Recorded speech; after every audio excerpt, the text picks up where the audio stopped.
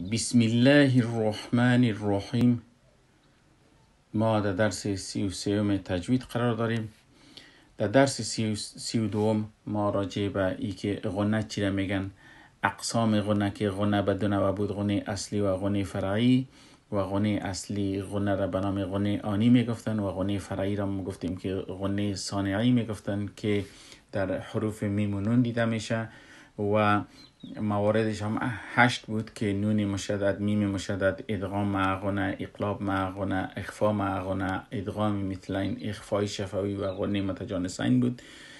و در آخر درس سی دوم ما گفتیم که درجه غنه قدر یادآوری کرده بودیم که درجه غنه چهار است. در این درس ما می‌خواهیم که امیر یک اندازه زیادتر شرح کنیم.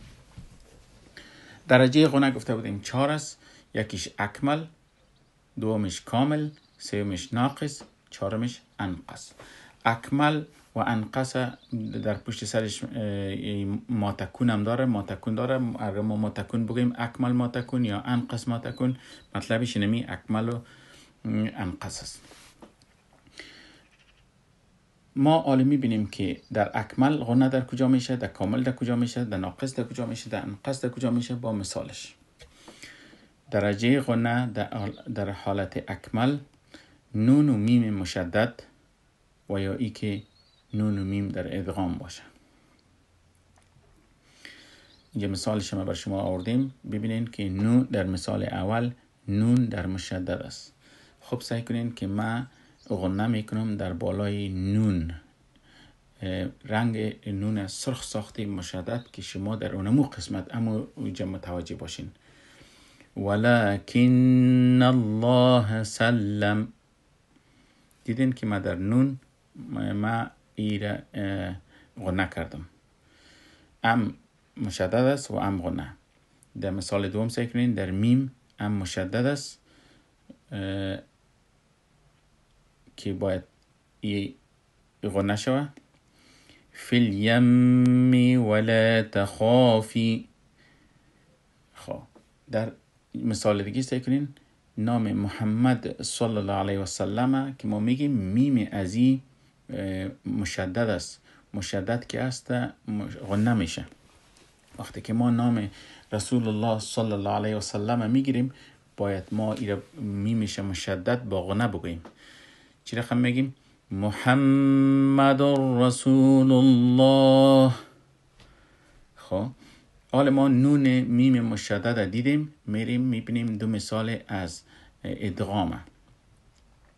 ادغام که یکی به دیگه مدرای این مطلبش هست. ادغام شده سعی کنین در مثال که نون ما سرخ ساختیم نون ساکن رنگش سرخ ساختیم ای ادغام میشه کتیا فمن یعمل فمن یعمل.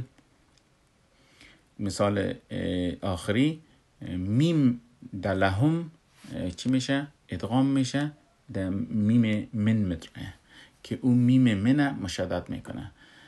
ما لهم ما لهم من الله ما لهم من الله.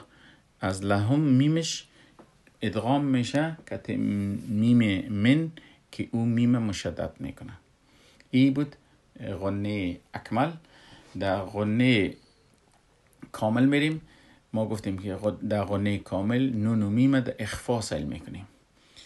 اخفا وقتی که ما راجع به اخفا گپ می‌زنیم یعنی یک مخرج از میم و نون اخفا می‌کنیم و مخرج خیشومش میمانه مثلا اگر نون ما تلفظ می‌کنیم و نون ما اخفا کنیم ما مخرج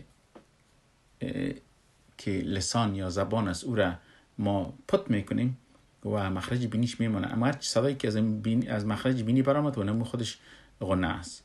و در میم هم است که ما مخرج لب سطر می‌کنیم و در باقی مانده که از بینی از بالای بینی می‌بره از خیشم اونمو خودش اتومات غنه را تشکیل میده.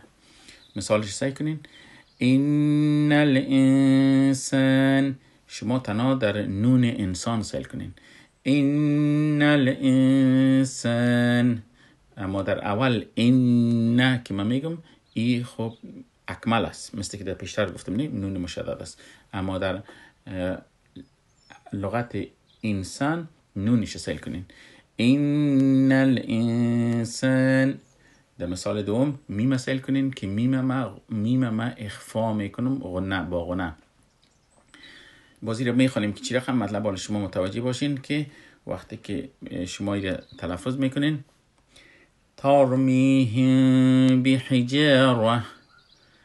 ترمیهم بحجاره. ترمیهم بحجاره. ناقص میریم. می‌بینیم که گفتیم که نون و میم ساکن در وقتی که نون و میم ساکن در اظهار باشه یعنی که از مخرجش استفاده کنیم.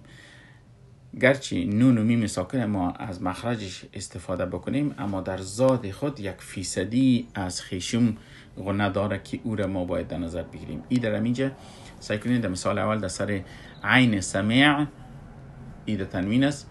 ان الله سمیع علیم. عن که میگیم عن. در مثال دوم سعی کنید نون سکون.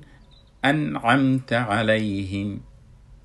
در مثال سیوم سعی کنین میم میم سکون میم سکونه که میگیم باید میم درست درست ما تلفظ کنیم میم درست از مخرجش باید اظهار کنیم که صدایش نخوریم. و هم فیها خالدون.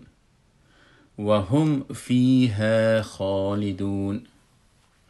خب در درجه آخرش که انقص است میریم می‌بینیم که نون و میم متحرک است یعنی حرکت داشته باشه. سیکن در این آیت می‌بینین میم در اول در بئس ما در بئس ما میم حرکت داره. در یأمرکم میم حرکت داره. در ایمانکم ایمانکم می‌بینین نون و میم هردویش حرکت داره. و در مؤمنین مؤمنین در هردوی ازی میم و نون حرکت داره که ای دی غنه اجرا میشه اما انقص. یعنی غنه ناقص ناقصی که دیده میشه. اگر ما ایره بخوانم در آیت ایره قیمی می‌خوانم کنین. قل بئس ما يأمركم به إيمانكم إن كنتم مؤمنين در اینمی آیت اگر شما متوجه باشین ما هم درجه غنه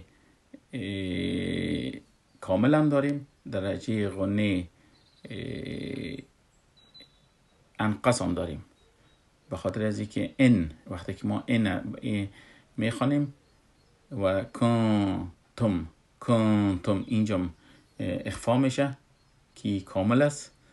و این ایم کامل است و میم نون در مؤمنین ای حرکت داره.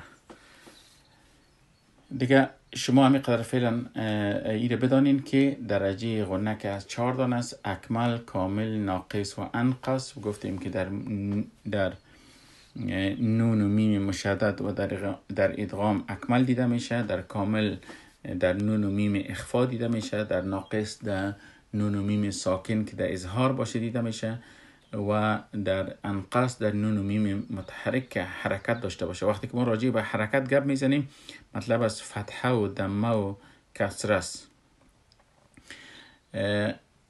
مثال هایشان برای شما گفتم. پسان باز راجع به این میاییم که در غنی فرعی کدام حالات است؟ و چی رقم ما غنه را استفاده می‌کنیم در درس سی و چارم و کوشش می‌کنیم که در درس سی چارم بخش غنه را ختم کنیم. السلام علیکم و رحمت الله و برکاته.